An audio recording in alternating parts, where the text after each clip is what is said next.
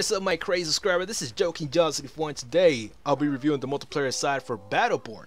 And also the story mode I have not played it. So I uh, cannot review that part. I'll probably play this whole week somehow and um, hopefully I do have time too because you know the story mode is like maybe like a 30 minutes per mission or something like that. So uh, it's gonna take me a bit to like complete the story mode. And also the first video that I posted about this game was about the collectible figure and I ended up getting Montana which is the character that I'm currently using. If you know how to develop this guy, he will become a total beast, man. You can keep your distance and you'll still kill a lot of characters like that. So uh, learn how to use Montana, guys.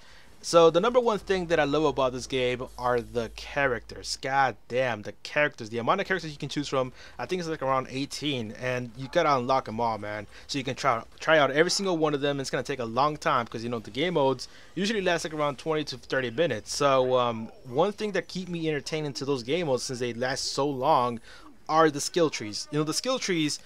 It's like around 10 different options, all right, and each option has two options. So it makes you kind of like, all right, since I did choose this one path, what would have happened if I would have chosen this other path? You know, it gives you more choices, you know, along the game. So um, it, that's what keeps me entertained. You know, the skill trees, the different ways you can win, also because um, each character have different weapons. Like some have like pistols and you know machine guns, assault rifles, while the other ones have swords. And uh, some of the characters are just support, like healers and some of the kind of stuff. So there are different ways to win the game, different styles, different skills, and it's up to you who you want to choose. Another thing that I really love about this game is the team tactics. If you don't have a tactical team, like somebody has to be support, somebody has to be like an attacker, and somebody has to be the, a, some kind of a defender. Because if you don't have any of those kinds, and you're just choosing whatever, and everybody chooses like a like an assault rifle, like Oscar Mike and uh, you know Montana and the sniper guy, and then the other two are just melee characters, how are you gonna win like that? Maybe you can, but you know you gotta really rush out there to win because you don't got a healer. So nobody's gonna be saving your ass at the end unless you do have these kinds of perks right here that, that I just showed on my screen, which allows you to regen your health a lot faster and stuff. So um, if you do got good perks like that, if your whole team does have it, that you might survive.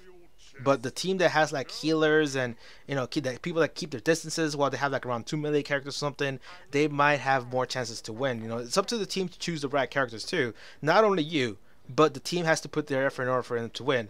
Another thing that I really love too is that when people back out, they can't really back out. If they try to go to a different game, they can because they got to finish the one they're playing. So I wish that would have happened also with Black Ops. That would have been nice because I know a lot of people quit when they're losing like by maybe like by 20 points in team deathmatch or 10 points and people end up quitting like within the match and lags the whole fucking server. That would have been nice in those kinds of games. But no, they, only, they only did it for Battleborn. So I'm glad they had it for Battleborn because it would have sucked to go up like, like around uh, three against six or three against five or whatever, and that would have fucking sucked. You know, I would have been pissed off about that whole situation. But I'm glad they do have that stuff on online. So um, uh, now I'm gonna be talking about the things that I hate about this game. And because I already talked about how positive you guys think I'm getting wet over this fucking game, but uh, the, there's some few negatives that I really want to point out.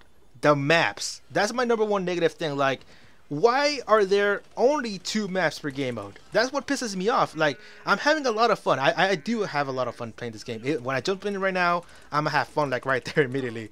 But uh, when I look at the maps, the map options, I'm like, why are there only two maps per game mode? They're hiding it behind a paywall. What the fuck, 2K? Like, really, man? I have a lot of expectation from this game. I really do. I really do see a lot of potential in this kind of games in the future. But if you're gonna hold everything behind a fucking paywall, might as well make me pay hundred bucks for the fucking game at once. Like, might as well just release it for hundred bucks. Do not release it for sixty bucks and tell me that's a full game. Because right now it feels incomplete because of the freaking maps. I'm pissed off about that. And that's about it. You know, I really, I really don't have another thing to be pissed off at because you know I'm, I'm, really having fun at the game. It's, it's just the maps that really get, gets me off. There's no, there's no server issues. There's no lag everything runs smoothly. The graphics may be a little bit throwing off because it looks really purple every time. So maybe it's my TV or something. Maybe it's my eyesight, but I do see everything purple. So I'm kind of, uh, I don't know. That kind of kind of throws me off. You know, kind kind of sets me off, and you know I really do not like that part. So. Um, that's about it. That's all I wanted to talk about, guys. The positive and the negatives. Tell me your own opinion. Have you guys played this game? And tell me in the comment section, and I'll respond to it later. So I'll see you guys later, and subscribe for more Battleborn.